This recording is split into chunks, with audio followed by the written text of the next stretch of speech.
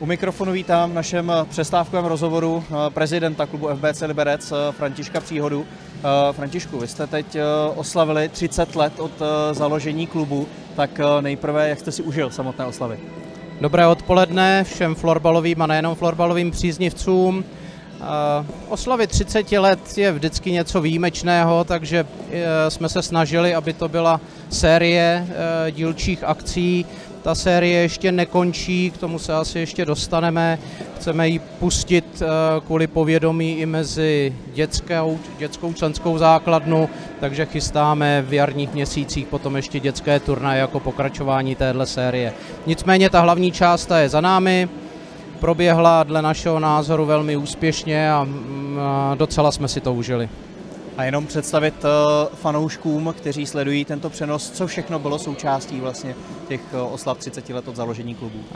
Součástí byla hlavní část, bylo samozřejmě eh, projektové utkání, s chodou náhod vyšlo to na Spartu, což je dlouhodobý soupeř.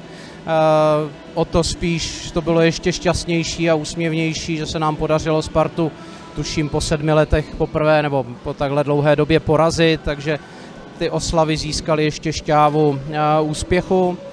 Následovalo po tomto projektovém utkání utkání našich VIP florbalových osobností, to znamená bývalých hráčů, trenérů, lidí, kteří ten klub dlouhá léta budovali, účastnili se jeho činnosti.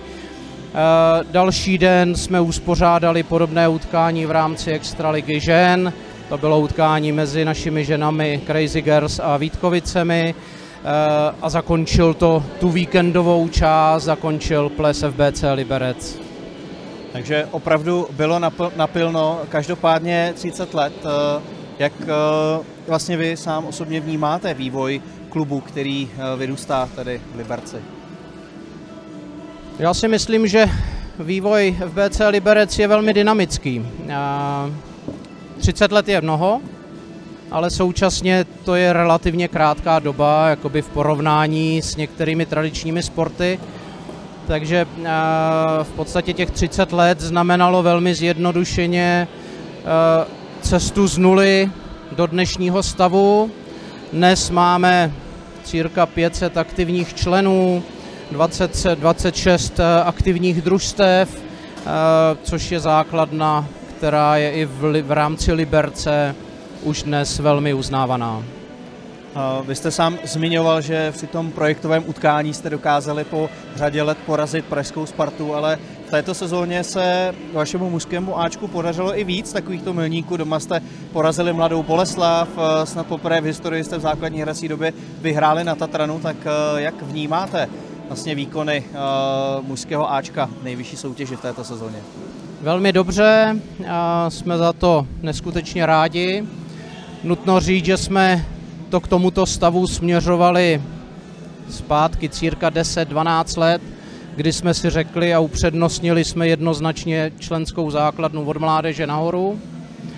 Netlačili jsme tolik ty naše v úvozovkách chlapy, ale snažili jsme se vybudovat rozsáhlou strukturu s dostatečnou kvalitou od nejmenších přes mládežnické týmy už jsme si mysleli, že by to ovoce mohlo přijít o chvíli dřív, ale ono ve sportu něco předvídat, něco si přát, tak než nastane ta správná realita, tak to chvilinku trvá a někdy se ty skutečnosti od těch představ liší. Přesto jsme za tohle ten stav rádi a pevně věříme, že to není konečná. Každopádně aktivity vás jako libereckého klubu nejsou pouze v rámci výchovy mládeže a vlastně toho sportovního života tady v Liberci, ale také nějaké té sociální zodpovědnosti. A sice narážím tím na vaše charitativní projekty, z nichž asi nejznámější je úsměv nejen pro Krištofa, tak jaké jsou veškeré vaše tyto charitativní činnosti a co to pro vás jako pro klub znamená pomáhat druhým i na tomto poli? Já bych rád řekl, že pomáhat eh, je v uvozovkách samozřejmost, byť to není úplně jednoduché. Nicméně eh, to naše spojení s nadací úsměvem nejen pro Krištofa, tak má trošku hlubší myšlenku, respektive musím říct ponurou minulost, ponurou v tom, že Krištof byl náš člen, byl náš hráč, který u nás hrál od svého mládí. S chodou okolností hráli s mými syny, ale to není podstatné. Bohužel nemoc, která na něj přišla, která byla neléčitelná, tak zapříčinila, že již dnes není s námi. Jeho rodiče, i přesto, že to pro ně je velká ztráta, tak to vzali jako jakousi společenskou příležitost a snaží se pomáhat rodinám a zdravotně postiženým stejným způsobem. Takže ve chvíli, kdy tato iniciativa, to byla jejich iniciativa, vznikla a nějakou schodou náhod jsme se k, té, k této iniciativě dostali, tak jsme velmi rádi tuto nabídku na spolupráci a vůbec celkovou formu spolupráce přijali a vzali jsme to jako takovou naši minimálně malou společenskou povinnost. Takže to na vysvětlenou, proč je to tato nadace. E, nás to samozřejmě těší ve smyslu, že můžeme pomáhat, netěší nás ten důvod, proč tahle celá záležitost vznikla, ale bohužel takový je život. Každopádně, když se ještě vrátíme ke sportovním výsledkům, tak eh, součástí toho, řekněme, vzestupu, jak jste sám zmiňoval, může být i to, že se spousta hráčů, kteří vyrostli tady pod Ještědem, pravidelně objevují v národních výběrech. Aktuálně jsou to třeba Jakub Smutný a Bartoloměj Smolka, kteří působí za juniorskou reprezentaci. Tak eh, jak vás těší to, že značka FBC Liberec se prosazuje i na mezinárodním poli? Těší nás to, no to navazuje na to, co jsem říkal, že jsme v určité době upřednostnili eh, vývoj vlastní mládeže, Dali jsme do toho nejenom svoji energii, aktivity, ale také finance. Rozběhli jsme koncepční systém práce s trenéry, kteří to potom přenáší na tu naši členskou mládež a jsme za to, že se to projevuje i v těch mládežnických kategoriích v té formě, že potom naši členové jsou členy reprezentačních výběrů, tak nás to velmi těší, jsme za to velmi rádi a jen houšť a větší kapky. Na závěr ještě našeho rozhovoru se pojďme podívat do budoucna.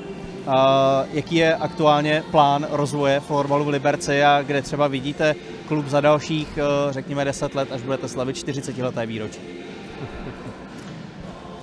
Plány máme veliké.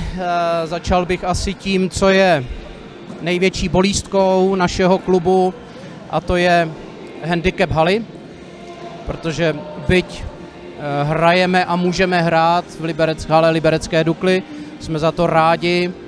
Tak je to eh, časově, organizačně eh, relativně velký problém, takže přáli bychom si a nutno říct, že v Liberci nejsme jediný, jediný klub, jediný sport, kterému multifunkční hala chybí. Takže toto to je první věc, kterou bychom velmi rádi řeknuli do těch deseti let, byť si úplně nemyslím, že to je zcela reálné, ale minimálně bychom to rádi posunuli.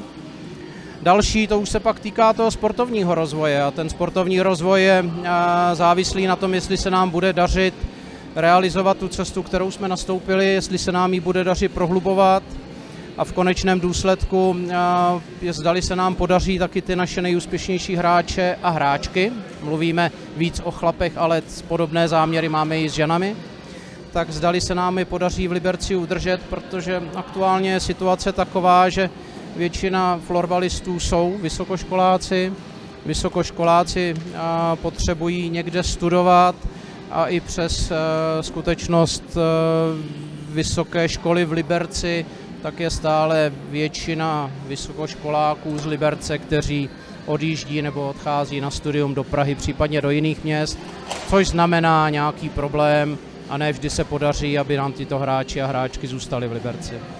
Děkuji vám, přeji vám palce, teda držím vám palce a přeji vám, ať eh, vám všechno vyjde. Děkuji vám za návštěvu našeho studia